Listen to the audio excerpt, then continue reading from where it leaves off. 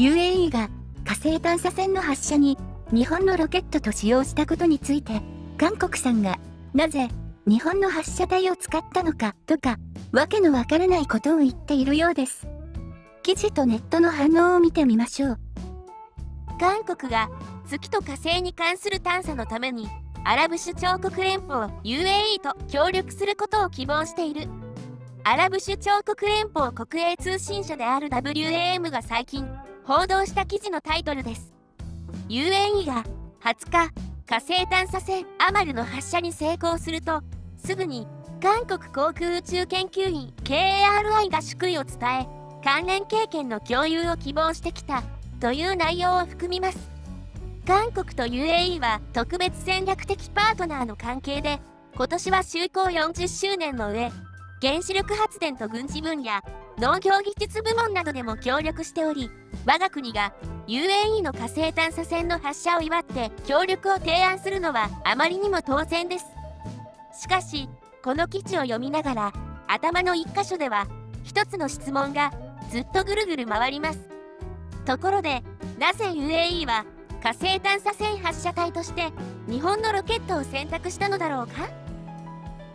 ？UAE 火星探査船アマルはアラブ圏初の火星探査船です。アマルは希望という意味です。記者中日本ではホープと報じられた。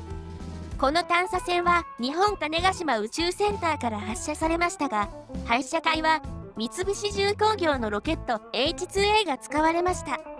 UAE は火星探査船の設計と製作過程では米国研究人と協力したので発射体も米国を選ぶのが自然ですがなぜ日本のロケットに決めたのでしょうか？衛星を発射するロケットと火星探査機を発射するロケットは基本原理は同じですが性能面では大きな違いがあります。イチュン軍科学技術政策研究院名誉研究員は発射体が地球を脱出するには第1宇宙速度の飛行で可能だが火星に探査船を送るには第2宇宙速度が必要だ。現在この第2宇宙速度を実現する発射体を保有しているのは米国とヨーロッパ連合ロシアとインド日本などに過ぎないと説明します。ところでより安定的に火星探査船を送るにはできるだけ地球と火星が接近する時期を狙うべきでこのサイクルが2年に1回程度の周期で回ってくるとされます。このため各国はこの時期に合わせて火星探査船を打ち上げるため競争するほかありません。今回も UAE に続き中国が23日火星探査船天文1号を発射し米航空宇宙局 NASA も近い将来パーセベランス火星探査船を発射するのはこのような理由からです。このような状況で火星探査船は開発したものの発射体を保有していない UAE は反対に発射体はあるが火星探査船はない。日本をパートナーに選択することになるのです。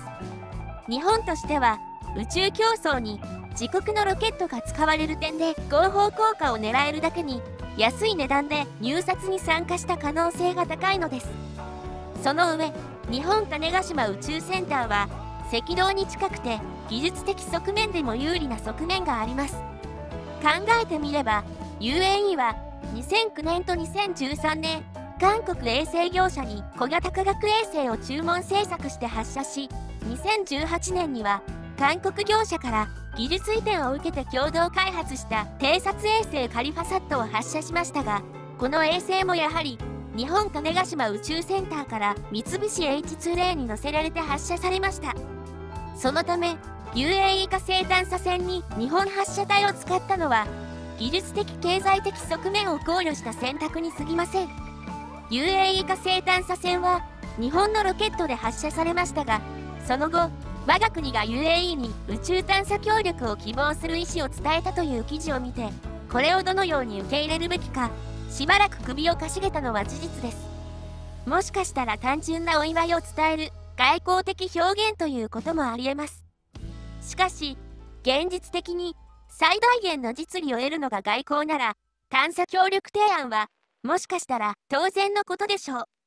我が国と UAE が協力を通じて技術を発展させ、自国発射体に自国探査船を乗せてあげることができる日を迎えることを希望します。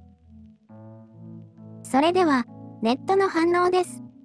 UAE がどうとか以前に、まずは自力で軌道投入できるようにならないとな。日本のロケットでってのがそんなに気になるって病気だろ。後半の分位が何回読んでも理解できない。ロケットを持たない韓国が UAE に売り込みをかけた調査結果は共同研究にするにだ。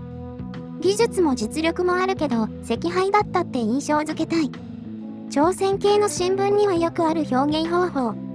でも足も出なかったから眺めてるだけだったって状況は政府批判に直結するからな。どっちにしたって韓国って選択肢はないんだから関係なかろう。人や大物はともかく普通の衛星なら世界レベルの技術があるんだから不思議じゃないだろう。我が国が UAE の火星探査船の発射を祝って協力を提案するのはあまりにも当然です。単なるただ乗りじゃねえか。これを当然と言える神経よ。UAE の報道って、韓国が火星探査の情報が欲しいとすり寄ってきましたって意味じゃね？日本発射体を使ったのは、技術的経済的側面を考慮した選択に過ぎません。それ以外、例えば何がありますかね？ということで、コメントでほとんど突っ込み入れられていましたが、本当にただのひがみ記事でしたね。とりあえず、最初から最後まで気持ち悪い記事だったとは思いますが、この記事を UAE の人が見たら何というのかちょっと気になりました。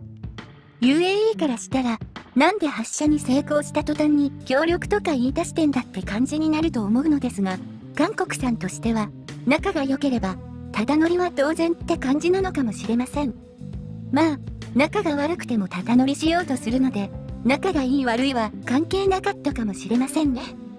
そして、協力することを望むと言いながら、内容は関連経験の共有を希望してきたということは、協力したいじゃなく、韓国に協力しろと言っているというか、情報をよこせと言っているように見えるんですが、気のせいではないですよね。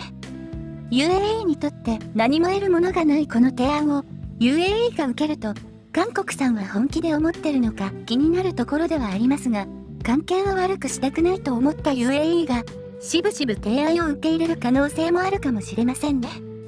そして、韓国さんがロケットを開発し、UAE が開発した探査船を乗せてあげるとか言って、失敗した時の負担を減らそうとしてるのかもしれませんが、安全面、技術面、金銭面などを考慮しても、そんな危険なロケットに大金がかかってる探査船や衛星を乗せたいとは思いませんよね。